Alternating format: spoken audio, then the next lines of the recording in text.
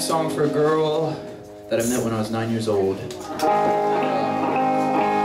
I ended up marrying her uh, about five years ago when I was 19. So it worked out, this song worked out well for me. It's called Learning How to Love.